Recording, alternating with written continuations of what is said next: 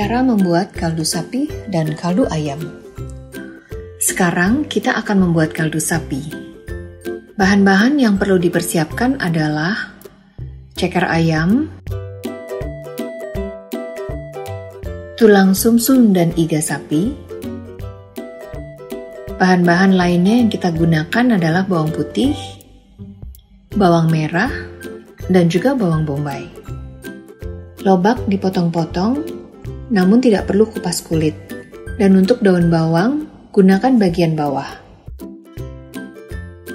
Wortel dan seleri atau bisa juga menggunakan daun seledri. Untuk bumbu kering, kita siapkan lada utuh, putih atau hitam, biji ketumbar utuh, cengkeh, bunga pekak, garam, lengkuas dan jahe, daun jeruk dan juga daun salam, lalu jangan lupa serai. Panaskan air sebanyak kurang lebih 2 liter. Setelah mendidih, yang pertama kita masukkan adalah tulang sumsum dan juga iga sapi.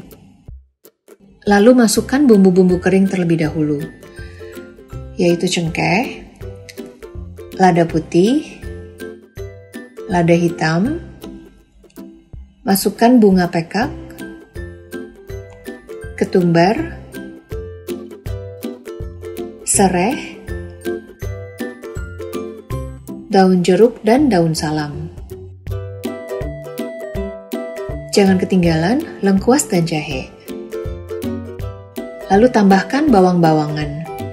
Sebaiknya tidak usah dikupas, cukup dibelah dan masukkan dengan kulitnya yang juga banyak memiliki kandungan nutrisi dan berfungsi sebagai penyedap alami. Selanjutnya, masukkan juga ceker ayam sebagai tambahan saja jika suka. Wortel dan seleri,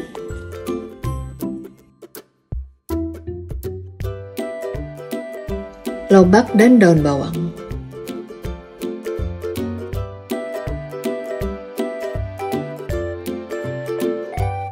Nah, kalau kita ingin membuat kaldu ayam, proses dan bahannya sama persis, tetapi untuk bahan tulang sumsum dan iga, kita ganti dengan ayam utuh atau dada punggung.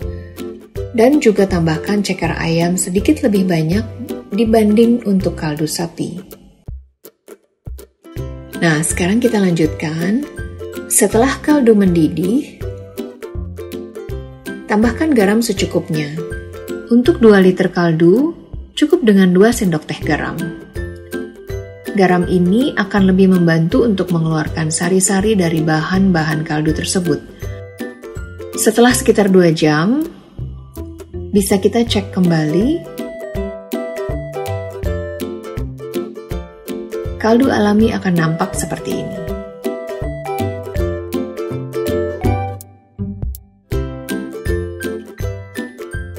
Lalu kaldu akan kita saring agar lebih mudah untuk penggunaan dan penyimpanannya. Nah, dari 2 liter air pada awalnya, kita akan menghasilkan kurang lebih 1 liter kaldu yang cukup kental. Untuk memudahkan penyimpanan, kita bisa menggunakan wadah silikon es batu atau bisa juga dimasukkan ke dalam botol atau toples kaca. Untuk penyimpanan di freezer, bisa tahan 4 sampai dengan 6 minggu. Sedangkan kalau di dalam kulkas atau chiller bisa tahan sekitar satu minggu. Selamat mencoba!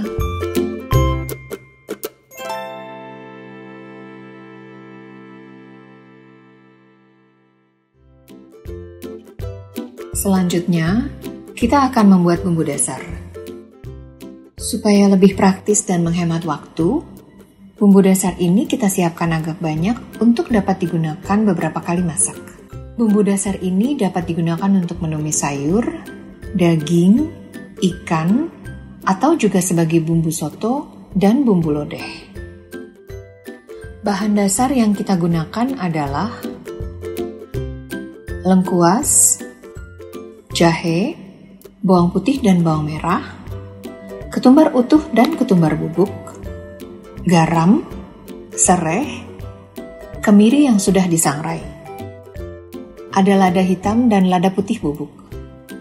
Nah, untuk bumbu dasar kuning, kita tambahkan kunyit segar atau dapat juga dengan kunyit bubuk. Pertama, kita masukkan kemiri sangrai, kita giling sampai agak halus. Lalu tambahkan jahe dan lengkuas yang sudah diiris-iris dan juga sereh. Bawang merah dan bawang putih Lalu kita giling kembali sampai agak menyatu. Lalu tambahkan ketumbar bubuk dan ketumbar utuh, lada bubuk, garam, lalu kita giling kembali sampai lebih halus. Jika diperlukan, dapat menggunakan sedikit air untuk membantu menghaluskan. Kira-kira halusnya akan seperti ini. Selanjutnya kita masukkan ke dalam wadah. Nah ini bumbu dasar putih sudah jadi dan dapat kita simpan dalam kulkas. Kita sisahkan setengah bagian bumbu halus tadi untuk membuat bumbu dasar kuning dengan menambahkan kunyit. Lalu kita giling kembali sampai halus dan menyatu. Sudah jadi untuk bumbu dasar kuningnya. Untuk penyimpanan, selain wadah gelas seperti toples, kita juga dapat menyimpan bumbu dasar ini ke dalam cetakan silikon es batu, untuk kemudian disimpan di dalam freezer. Untuk penyimpanan dalam kulkas, sekitar satu minggu, dan di dalam freezer sekitar satu bulan. Selamat mencoba!